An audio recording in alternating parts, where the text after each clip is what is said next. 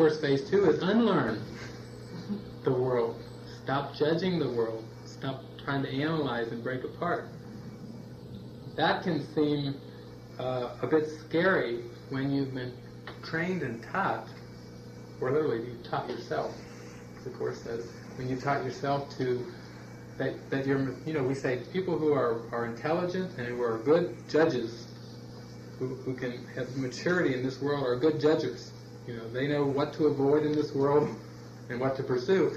And the Course comes along and says, wisdom is not judgment. True wisdom is relinquishment of judgment. And that's that's a profound kind of idea.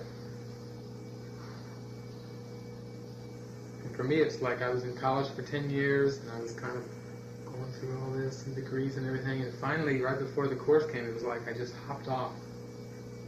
I just got to the point where I said, you know, I saw the frustrations of I'd studied all these different disciplines. I had searched so deeply, and I'd seen all these different underlying assumptions about the world. The physicist and the sociologist had huge different views of the world. the chemist and the psychologist, my gosh, you know, the musicians and the art, you know, what I saw was that there were all these world views, it's like, how are we ever going to have harmony if, if there's all this variation in in what the world is? But the course is like it just cuts through all that. You know, it literally is helping us train our minds to get to that to that true perception where we give up judgment. So, I mean, that's a lot of stuff. We're throwing it out, but now if things are coming to your mind, like particular things, and that's good. We'll we'll go with those. What areas. comes to my mind is, uh, in the manual it says, and into this impossible situation, his teachers have got to sit out here at the visit. There we go. Yeah, we're in the maze. Yeah, we're in the maze. So what's the solution? Find the maze. just told I mean, It was just um, yeah, but so uh, the mind is so uh, stuck in its pattern, and uh, how do you like? Okay, I was feeling great for a whole long time, and then I had two days where I just couldn't get my mind to think or it seemed that way. I just couldn't get it out of my pit or whatever it was in. Mm-hmm. And so, uh, is that I tried whatever I, you know, doing the lessons and whatever, and begging whatever you go through, help, please, and it just stood there. So then what? I Like mean, a do you do? Yeah. Yeah. So what? How do you handle it from there? Go down to the next floor. Usually that's where the block is. Grope in the dark. Know that it's there. Well, the, Well, I don't even know what the black was. yeah. I mean, maybe that's the black. I don't know. Mm-hmm. I was talking to Zola yesterday about, and today I was studying the course, and the answer came to me, and I hadn't given her the answer yesterday. I was telling her, I said, I've been doing all right, except I really raised hell with my with my ego. You know, I even had an excuse. I could talk about where it said in the Bible that Jesus said to Peter, "Get behind me, Satan." I figured he said, "Get behind me, Satan." He didn't. He says, "Get behind me, Satan." Doesn't mean anything. You know? I have to not judge my ego either. That was the thing. Because I, I was always judging my ego. Well, you dumb shit, you've been doing this. you've been thinking the wrong way. That's judgment. There's no judgment to it. Well, It doesn't mean anything. yeah, it, it's there's, the Song of Prayer in the Course does say, in a sense, that That's where I read it. Was in the Song of Song of Prayer. Yeah. when you when you believe you're in this separated world, once again, the, the guidance of the Holy Spirit will seem to at times take a specific form. You know, a lot of us have maybe had inclinations or hunches, or maybe even heard a voice, or seen a billboard, or heard something on the radio, or had a friend call us, or something that seemed to be very specific and very helpful. And a lot of times, really, though, the only thing that um, that you need to to receive that is is willingness. But a lot of times, a little willingness can seem like a lot. I mean, when the mind seems to be in a stuck spot and it really seems to be blocked. Um, in the rules for decision, you know, Jesus kind of goes through and gives. That's a, a good place to go if you're in a stuck spot because he gives little stepping stones to help Seven the mind. Yeah, to help pull pull the mind back from its stuck spot.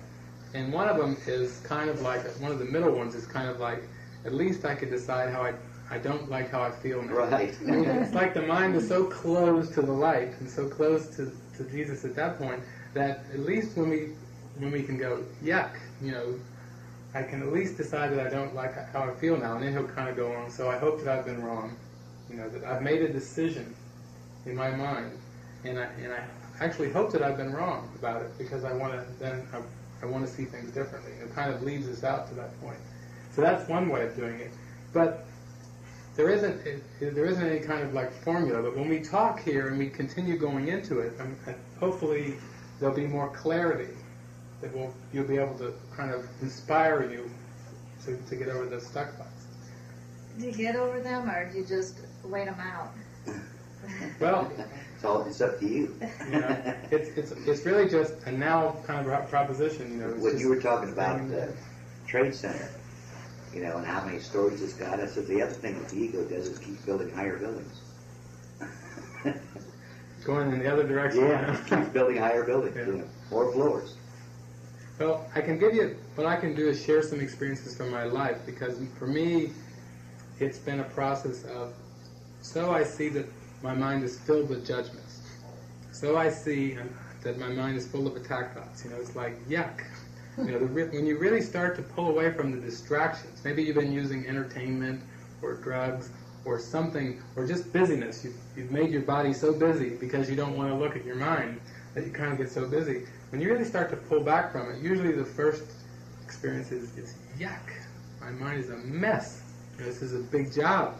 I don't even. I, I want to go back out to the distractions because the mind feels so attached to these attack thoughts. That's where the guilt comes in. It, it's not attached to the real thoughts. Those are buried over in the basement.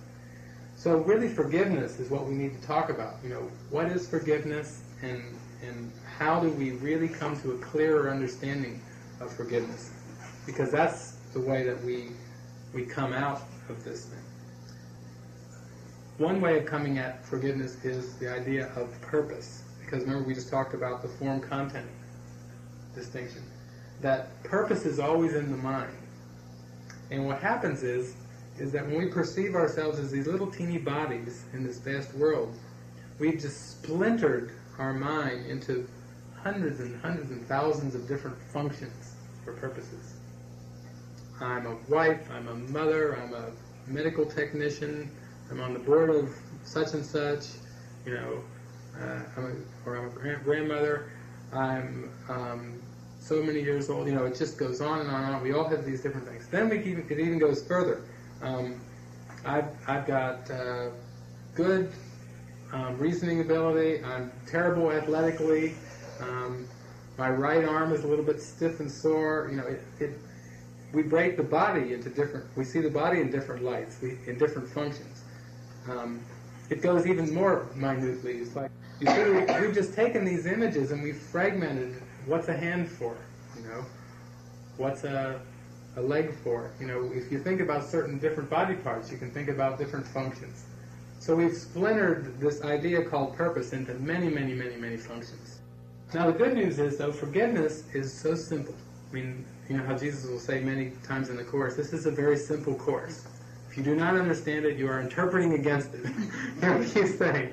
But it's a very, very simple Course. And that's what I've discovered, you know, as I've studied the Course for years, it's like the deeper I've really gone into it and, and looked at these false concepts in my own mind and, and just let go, let go, let go, it's like it just gets simpler and simpler. It's like crystal clear. Because what happens is it just merges.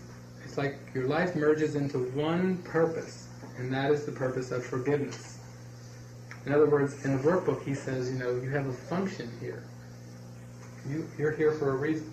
Some of you might have seen Oprah Winfrey, where she says, "I think I'm here for a reason, you know, to, to bring love and to bring healing." And literally, that's that's our function: forgiveness, healing. That is our one purpose. That's what's going to lead us out of the maze, you know. Now, what happens is, for me, it's been something that's like it's grown and grown and grown. Where the deeper I've gotten in touch with this purpose, and the more it's become like the center of my life, it's become my joy. You know, the more I really hold on to this one purpose, the simpler things get, and the more things just start to ma- almost like magically click in. You know, I mean, I I lived a life I could say when, probably the most complicated it got was I think back to when I was in college for ten years and I was in grad school and grading papers and trying to do all these things. I had a relationship going, trying to juggle ten things at once, and and I think what's happened in the last since the mid '80s for me is like my life has just gotten very simple, but it's a simplicity that's come like from shifting my mind. So it's not like I've tried to change the form first and then get a simple mind. Because we, I mean, that's been tried for centuries. You know, give away all your possessions or do this, do that, fast, or you know, something like that. Somehow magically, if we if we do certain behaviors or rituals, that will our minds will get immediately get clear and we'll be in the kingdom of heaven. But just it doesn't work that way. It's almost like it's the reverse way. We have to we have to look at all these concepts that we hold of ourselves, and we have to to see the falsity of the concept, and then kind of like leap out of it. So that um, you know that's been the experience for me. Has been like you know I've I've kind of like withdrawn my identity from, for example, the idea of career and profession. You know, I started examining that in the mid 80s as a concept, you know, really looking at it. It was very linear. it was very much projected into the future. The course is teaching me, you know, that the future is imagined, you know, and to give up your pursuits and everything, but it's like, wait a minute, everybody's got to have a career. You know, this is not a concept. This is this is important. But you know, I started to really examine it and really look at it and really question it, and then like was able to start to just say, okay, I don't know where this is going, but I'll trust. I mean, that's the key word. I'll trust, and, and I don't know how you're going to use me, and I don't know how things are going to work out, but I but I know I, I'm, I'm feeling this purpose starting to grow in me, and I want to follow it. So that was like one example you know, it, it, it takes place in all of our areas of, of our life too. Like relationships is another one. You know, everyone who comes to this place forms special relationships. The course says. But what are special relationships? What's a, a modern, good John Bradshaw word? Codependency. You know, that's what a special relationship is. It's a good old codependent relationship where you know where you need that other person, where you you want to get your needs met. You know, a lot of the workshops still nowadays, if you listen to the words, you know, how to get your needs met from your partner. You know, that's a that's still a codependent relationship because when the partner up and leaves or decides I'm not going to meet those needs, then where are you? You know, you're back to what do I do now? So, what the course does with this new purpose is like even when we when we start to shift our purpose and give it to the Holy Spirit, even our perceptions of relationships start to alter and start to shift in a big way. Oh, we could probably go around and just talk about, you know, the, the different ways that it's happened. There's a, lo- a lot of times there's a lot of upheaval because if you're if you're you've been in this pattern, heavily rooted pattern for a long time, and then you start to pull your mind away from it, the ego is fits. It's grief work. Yeah. I've lost myself. I have nothing to live for. It used to be this way. Now I have nothing. What can I do? Oh. Yeah. And unless we have a function, and that's why I keep bringing back forgiveness or, or purpose, because we have to have something positive to grab onto. You know, if, as we start to lay aside these self-concepts that we've constructed, these little tiny false selves that we've made to be so important, you know, we've forgotten spirit, we've made these self-concepts. As you really start to work with the Course and you start to examine these concepts, the ego is shrinking in there. Because the ego is saying, well, you gave up that, you, you let you saw something else. If you keep letting go of your concepts, there's going to be nothing left. And the ego's version of that is when you go to the basement, you're going into the void. the ego describes the light as nothingness. and that's why when you start doing your inner work a lot of times, that's Take why fla- all Take your flashlight. yeah, yeah. You better have Jesus with, with, in hand when you do it. But, but that's why it can be so painful, you know, when you start really looking at your mind because you're starting to look at these concepts and these false beliefs, and the ego is in there advising that you know you better stop. Don't go within. You know, stay outside and stay distracted. So that's the idea of purpose. There, Another thing he says is that a single unified purpose will stabilize your perception.